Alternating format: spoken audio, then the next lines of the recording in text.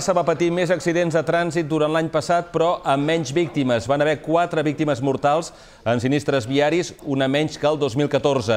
Són dades donades a conèixer en el Consell Municipal de Seguretat, que ha suposat l'estrena d'Antoni Flores com a intendent major de la Policia Municipal.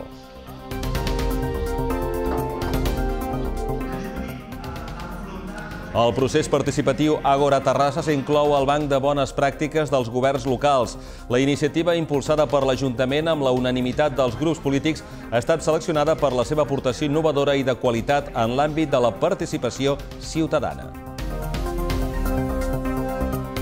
Suport unànime del Consell Comarcal a la llei contra la pobresa energètica. La reunió plenària entre els representants polítics de tota la comarca també ha servit per aprovar una mesura per evitar el malbaratament del menjar. El ple del mes de maig també ha manifestat el suport als ajuntaments de la comarca que negocien la cessió de pisos buits per part d'entitats financeres.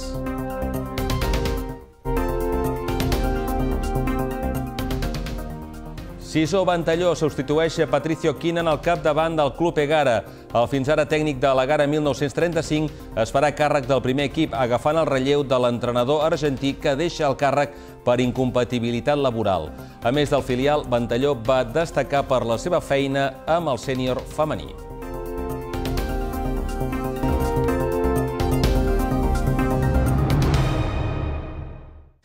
Bona tarda. El balanç del 2015 indica que hi va haver més accidents de trànsit a Terrassa, però menys víctimes. És una dada que s'ha sabut en la primera reunió del Consell de Seguretat d'Antoni Flores com a intendent major de la Policia Municipal, la qual s'ha tractat també l'elaboració del pla director.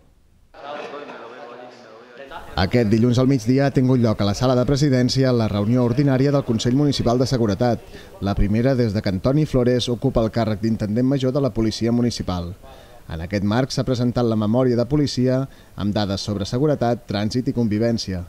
El document recull els principals indicadors de l'activitat policial durant l'any passat, en què aquest cos de seguretat va fer un total de 29.093 intervencions, fet que significa una mitjana de 80 actuacions diàries. Així, el balanç de l'exercici 2015 informa que a la nostra ciutat ha baixat el nombre de víctimes d'accident de trànsit, si bé la xifra de sinistres és superior.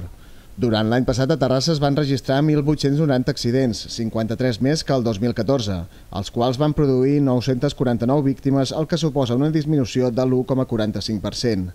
L'informe indica també que l'any passat van ser 4 les víctimes mortals en sinistres viaris, una menys que el 2014. Tot i així, ha augmentat el nombre de víctimes greus, que ha passat de 44 a 49.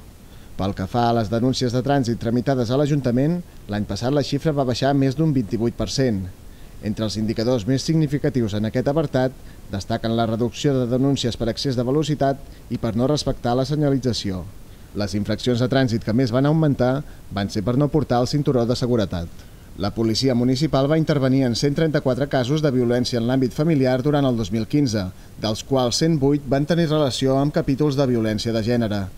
En l'apartat de la seguretat ciutadana, la policia terrassenca va fer un total de 302 detencions per fets delictius diversos.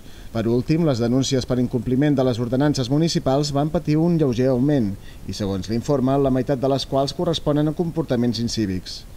En el mateix Consell de Seguretat s'ha tractat també l'elaboració del Pla Director de la Policia Municipal, document que té com a objectiu, entre d'altres, analitzar les oportunitats i els punts febles i actualitzar les funcions i l'estructura del cos de seguretat.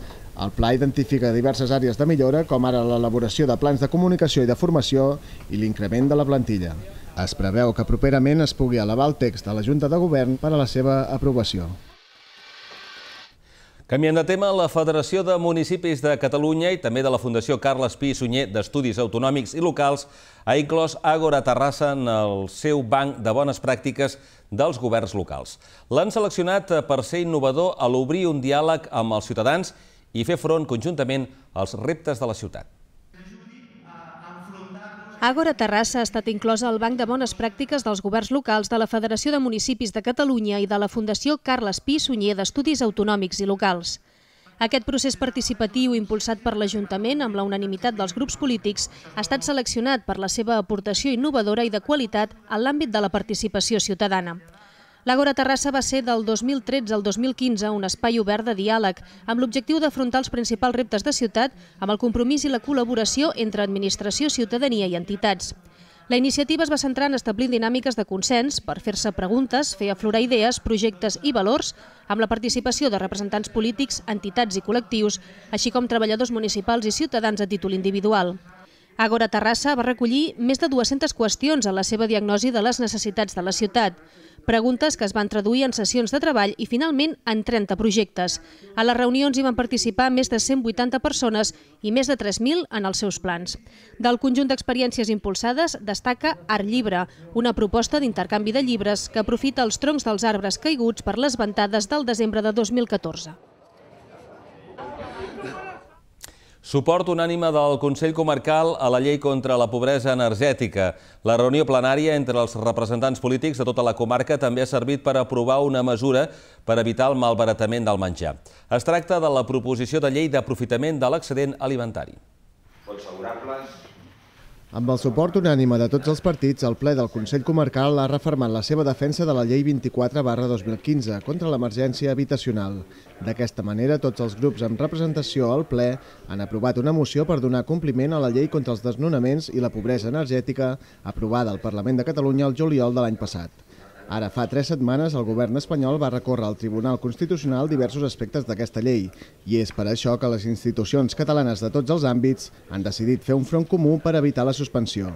En aquest sentit, el ple del mes de maig també ha servit per manifestar el suport de l'ens comarcal als ajuntaments que negocien la cessió de pisos buits amb entitats bancàries. D'altra banda, la reunió plenària també ha aprovat una mesura per evitar el malbaratament del menjar. Es tracta de la proposició de llei d'aprofitament de l'excedent alimentari. Durant les properes setmanes, el Parlament debatrà aquesta iniciativa amb la voluntat de trobar la complicitat de productors, distribuïdors, hostaleria, famílies i govern. I és que, segons un estudi realitzat l'any 2012 per la Universitat Autònoma de Barcelona i l'Agència Catalana de Residus, cada any van a parar a les escombraries l'equivalent a 25 dies i mig de menjar, un volum que serviria per alimentar mig milió de persones durant un any. El president de la Generalitat, Carles Puigdemont, presidirà els Premis Cambra 2016. Serà en l'acte de lliurament dels guardons previst per al proper 15 de juny a Sant Cugat del Vallès. L'esdeveniment reunirà al voltant de 500 persones, directius d'empreses i personalitats del món econòmic de la demarcació, així com representants polítics i institucions d'arreu del territori català. Amb un nou eslògan orientat a l'optimisme i la prudència, mirem endavant, els Premis Cambra 2016 rendiran homenatge a les empreses de la zona que seran guardonades per la seva iniciativa emprenedora, singularitat empresarial i capacitat competitiva. També us expliquem que la regidora Lluïsa Melgares ha estat distingida amb el Premi LGTB Terrassa. Aquesta organització, LGTB Terrassa, ha lliurat els seus guardons en reconeixement a les persones, entitats i associacions que porten a terme accions a favor dels drets del col·lectiu i lluiten contra l'homofòbia. L'organització LGTB Terrassa ha lliurat aquest cap de setmana els seus premis en reconeixement a les persones, entitats i associacions que porten a terme accions a favor dels drets LGTB i lluiten contra l'homofòbia a la ciutat. El principal guardó, el Premi LGTB Terrassa, ha estat per la regidora Lluïsa Melgares per la seva tasca i implicació amb el col·lectiu. També ha estat distingit Raül del Valle, membre de l'associació Actua Vallès, que treballa en la prevenció del VIH i lluita contra l'estigmatització de les persones portadores del virus. L'organització també ha guardonat les activistes Àngeles Ruiz i Gemma Sánchez, de les associacions Acord i Dona Més Dona, que fa anys que lluiten pels drets LGTB. Una altra de les persones distingides per l'Associació Terrassenca ha estat la perruquera Raquel Masquer i el director del diari del Vallès, Serafí Gázquez. L'acte d'entrega de premis, celebrat al Bauhaus de Terrassa, ha comptat amb la presència d'una cinquantena de persones. Valors i virtuts per créixer com a persones és el lema de l'edició número 31 del concurs bíblic de Catalunya. Aquest dissabte al Centre Cultural s'entregaven els premis. D'entre els 8.038 participants del Bisbat de Terrassa s'han distingit 29 nens i joves. 14 d'aquests guardons s'han quedat a la nostra ciutat, 9 per estudiants de diferents escoles i parròquies i 5 premis més per a escoles i parròquies de Terrassa. A totes les diòcesis s'han registrat gairebé 62.000 participants i s'han otorgat 318 guardons. La plaça del Vapor Ventalló acollia el passat dissabte la segona edició de la Tarregada de Jocs, la setmana del joc en català a Terrassa, que es feia entre les 12 del migdia i les 8 de la tarda a la mateixa plaça. La regidora de Normalització Lingüística i presidenta del Centre de Normalització Lingüística de Terrassa i Rubí, Rosa Maria Rivera, assistia a la jornada central de la Tarregada de Jocs. Es tracta d'una iniciativa que neix en el marc de la campanya I tu jugues en català, del Centre de Normalització Lingüística de Terrassa i Rubí. La idea pretén potenciar l'ús de la llengua catalana en aquest àmbit i sector. 12 alumnes de l'escola Tecnos corregeixen faltes d'ortografia als comerços. Són la brigada ortogràfica. Han de buscar eines de correcció i treballar les habilitats socials necessàries per comunicar la intenció del projecte als botiguers, perquè corregeixin les errades i aquests no s'enfadin. Un grup de 12 noies alumnes de quart d'ESO de l'escola Tecnos han constituït una brigada ortogràfica. Surten al carrer, observen i entren als comerços quan troben una paraula mal escrita per mirar de corregir-la. Amb els profes, l'Antoni Perarnau també ens va, va tenir també bona part de la idea i ens va dir si ens semblava bé anar pel món corregint faltes i vam trobar que era molt interessant, ja que poca gent ho fa, la gent veu faltes i li és igual o hi ha gent que no se n'adona que hi són i és important per la cultura i per tot que, que no hi hagi faltes. La iniciativa és una activitat d'aprenentatge i servei, accions de compromís cívic que fan que els alumnes de secundària entrin en contacte amb el món real i al mateix temps aprenguin. Veiem que aquesta era una possibilitat de, de servei a la comunitat doncs, a contribuir a la correcció dels cartells i dels accents i que, que, que, es poden, que podem trobar en els comerços. No? La brigada ortogràfica s'ha de preparar, buscar eines de correcció i, sobretot, treballar les habilitats socials necessàries per comunicar correctament la intenció del projecte als comerciants perquè corregeixin les faltes i no s'enfadin. I aquí representa que les dues noies que ho fan és el que els he comentat amb elles, que són castellanoparlants i generalment bueno, cap de les dues, no generalment, no, l'escola no la van tenir en català, i que se'ls hi fa difícil. I llavors que vosaltres feu aquesta iniciativa, no ve, no rebé, hem de fer país. La brigada ortogràfica continuarà patrullant als carrers de Terrassa a la caça i captura d'aparadors amarrades.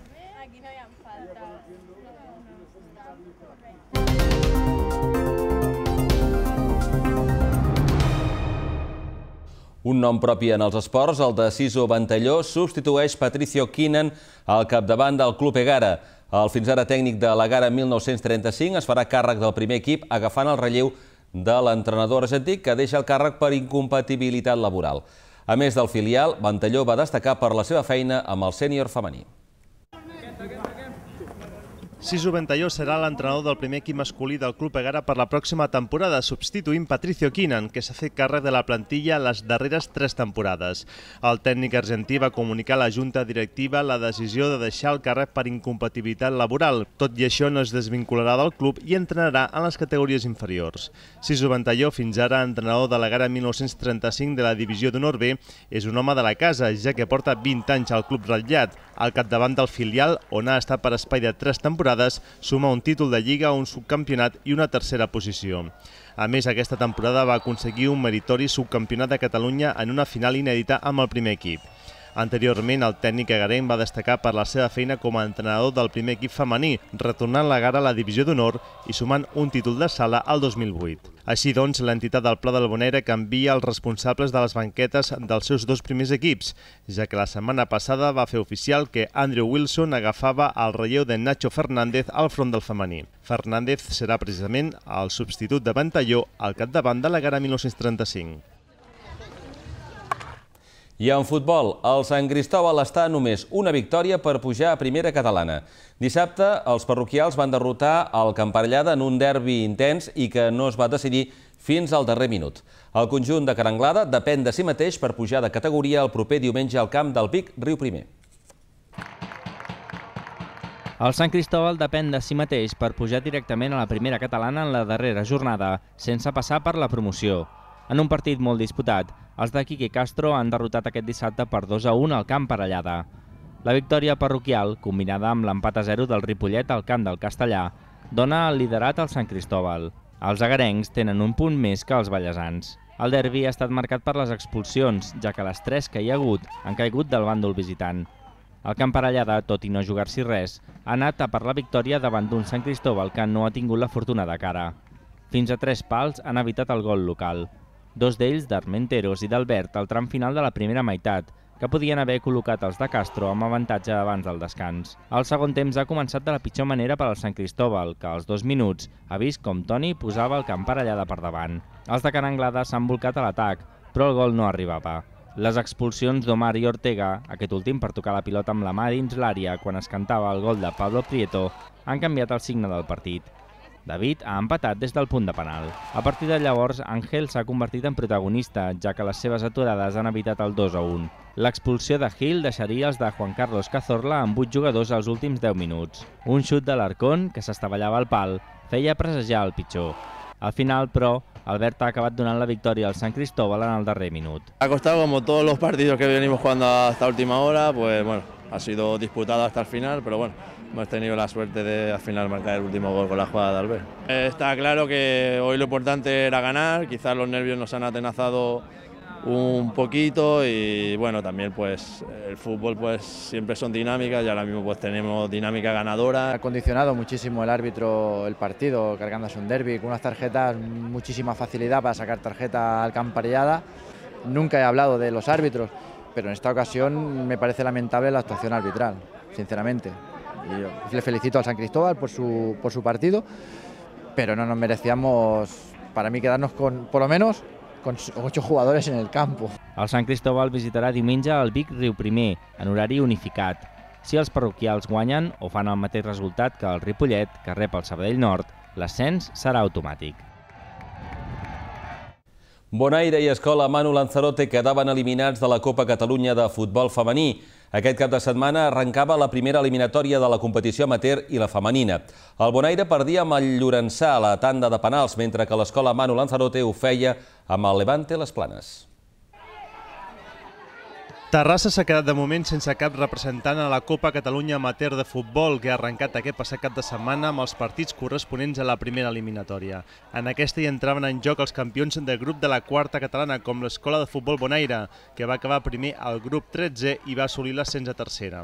El conjunt agarenc, però, ha quedat eliminat de la competició que es desenvolupa a partit únic. L'escola de futbol Bonaire ha perdut aquest diumenge amb el Llorençà. Els visitants s'han avançat al quart d'hora de joc mitjançant David Humbert, però els terrassencs han empatat poc després amb un gol d'Ordóñez, arribant-se amb l'1 a 1 al final del temps reglamentari. A la tanda de penals, el Llorençà ha estat més efectiu i s'ha imposat per 1 a 4. A la Copa Catalunya Femenina entrava en escena l'escola Manu Lanzarote, que rebia el municipal de Sant Llorenç, un dels equips catalans més potents, el Levante Les Planes, semifinalista la temporada passada i que aquesta temporada ha lluitat per l'ascens a la primera divisió, la màxima categoria nacional. Les agarenques han perdut per 2 a 3 i han quedat eliminades, però el conjunt de Sant Joan d'Espí ha estat contra les cordes, tot i la diferència de categoria. Cris Picón ha fet l'1 a 0 per a l'escola Manu Lanzarote, però Levante Les Planes ha capgirat el marcador abans del descans.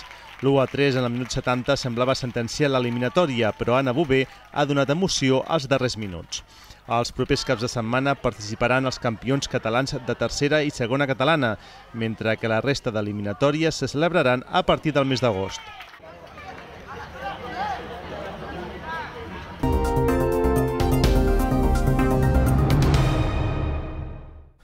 El Parc Vallès torna a celebrar un any més la Festa de la Primavera, que enguany arriba a la seva tercera edició.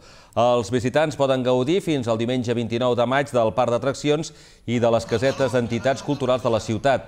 Ja aquest passat cap de setmana han estat centenars de famílies les que han pogut seguir un bon grapat d'activitats. Destaca l'actuació de dissabte del Mani, entre d'altres artistes. Atraccions, participació de ferians i tres casetes d'entitats culturals marquen aquesta fira de primavera que es fa a l'Avinguda del Tèxtil, junt a Parc Vallès. Destaquen els grups Cruz de Mayo, Flamencología ACA, Nuevos Aires del Camino i Blanca Paloma. La fira està organitzada per l'entitat Cruz de Mayo, conjuntament amb els firaires del Vallès i diverses entitats culturals. I en un altre punt de la ciutat, la plaça Vella acollia aquest dilluns a la tarda la primera de les activitats emmarcades en la setena trobada internacional de Capoeira. Es tracta d'un esdeveniment que té com a objectiu promoure i integrar la comunitat brasilera amb la catalana. Durant sis dies d'activitats multiculturals es pot veure a través de la Capoeira la diversitat artística i cultural del Brasil. Es tracta d'una trobada produïda per l'associació Casa do Brasil a Barcelona i pel grup Capoeira Brasil. Des de fa set anys, la trobada és un espai d'interacció entre grups de diferents cultures amb l'objectiu d'enfortir la comprensió mútua i el respecte, basat en el reconeixement dels seus valors i estil de vida, on els participants intercanvien experiències i costums.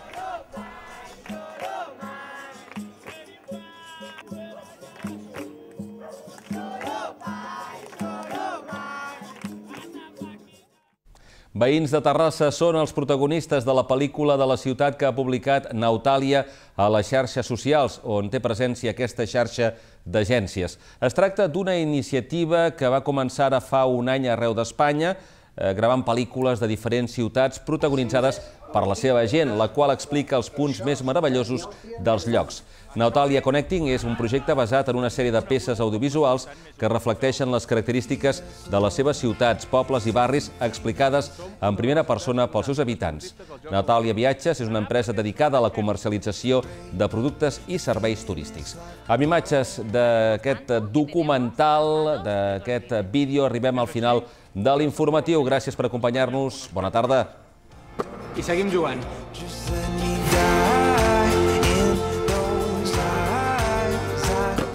¿Lata récord Guinness? Aquí lo tienes, la chimenea con escalera de caracol más alta del mundo, nuestra Bobby Almiral.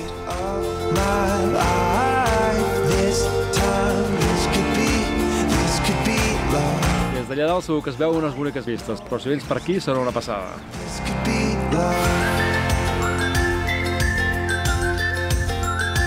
Tenir prop de la ciutat tanta naturalesa és un privilegi. Doncs comprar aquí ja et dic jo que també ho és.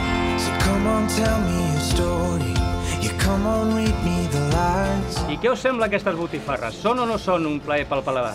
I tant que ho són, com també ho és el jazz per la buida. Los mejores sitios están muy cerca o muy lejos. Nosotros te llevamos a todos.